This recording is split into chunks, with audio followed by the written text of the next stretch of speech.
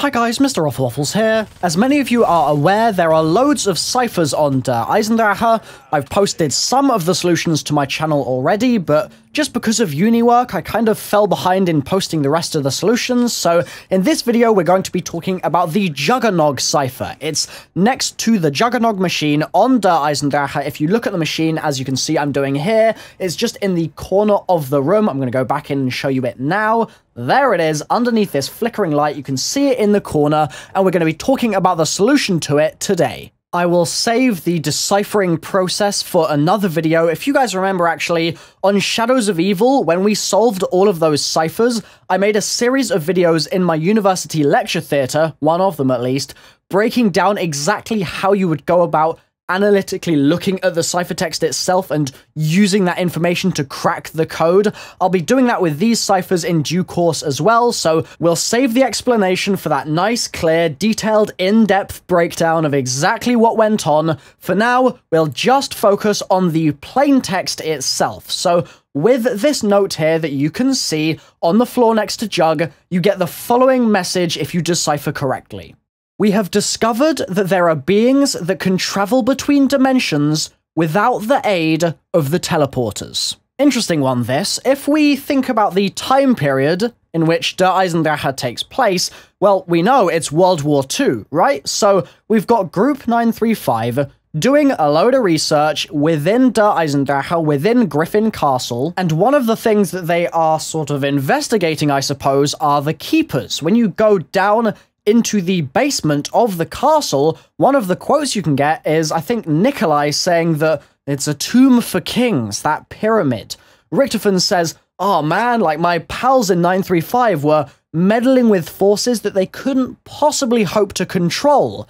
And it's when you go into the pyramid room with the keeper statues craning over the pyramid itself that those quotes are triggered. So clearly, 935 are doing some keeper research, and it's my opinion that this cipher is talking specifically about the first foray into that very area. They're saying, we've discovered these things called keepers exist, or rather, we've discovered these beings. We don't know yet that they are keepers. We don't know. Actually, that's quite interesting. They don't know about the ancient order of the keepers, seemingly. So, in a sense, we know more about the Keepers than Group 935 do prior to Der Eisendrache, simply because we've played Shadows of Evil, we've had all those quotes from that book, that oh so important book on the map when you're doing the Easter egg and you get all those quotes from Jessica and just actually from all of the cast, in fact, talking about the book itself and the keepers, and then there's Mr. Rapt as well. We know a fair bit about them, but what we do see on Der Eisendrache, which we did definitely not have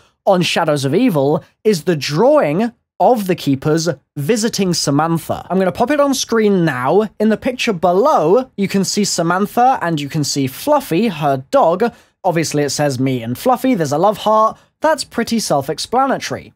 But the image above shows Samantha with the caption, Me, happy face, how cute, in bed with the moon. Interesting that they've included that, by the way. I thought that that would be worth pointing out because the moon really has a lot of significance in zombies. The moon through the window there, and a keeper quite clearly coming through a portal, or at least I think it's a portal. Some people have been saying, oh, it's a window with some weird stuff. No, I reckon it's a portal. It's made a portal and it's jumped straight through it, and it's visiting Samantha. The ramifications of this drawing are really quite interesting, in my opinion. We could take it a number of different ways. One interpretation might be that the keepers have some affinity for Griffin Castle, most likely that tomb for kings that we see in the basement area, in the Undercroft.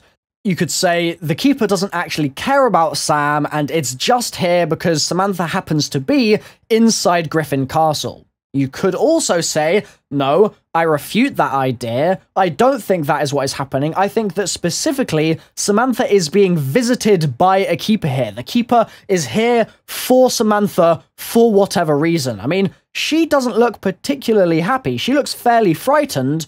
But saying that, if we look at the image below, and this is the reason I included it in the video and I didn't just crop it out entirely, in that image with her and Fluffy, she has kind of the same expression, this sort of surprised look on her face. So maybe we can't read into that shock at all, and maybe we just have to sort of ignore it in our analysis of the image. Anyhow, if Samantha is being visited, why? What is going on with Samantha that makes her interesting at this point in the story? This drawing is prior to her entry into the MPD.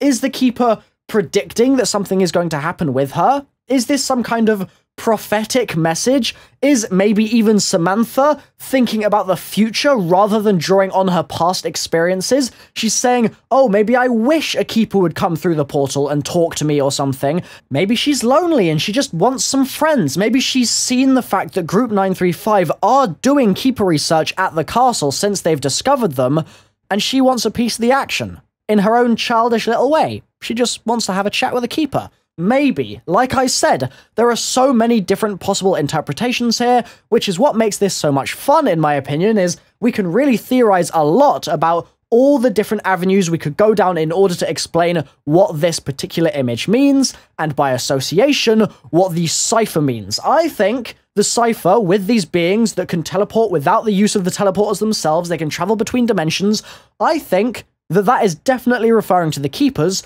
but you guys might have other ideas. I mean, could the beings, for example, be Primis? I don't think so for a moment, but you guys might want to argue that sort of idea or a similar one in the comments. I'd love to hear your thoughts. Now that the map is out on Xbox and PC as well, you guys can jump into game and have a look at this stuff for yourself, have a look at the cipher, have a look at the poster, or rather the drawing from Samantha, and let me know what your thoughts are. By the way, if you don't have the DLC yet and you're sitting there twiddling your thumbs wondering what to do with yourself, then check out the description. There's a link to Opinion Outpost who have sponsored this video. The idea is that you fill in surveys on their site and they pay you for it and you could use that cash to buy the DLC or something like that. Buy the season pass, heck, buy the game if you wanted to. So I've been Mr. Rofl Waffles. Thank you so much for watching the video, guys. Let me know your cipher thoughts and if you have any video requests for stuff I should be making in the next few days or weeks, then definitely let me know. Thank you so much for watching. I'll see you guys next time. Bye bye.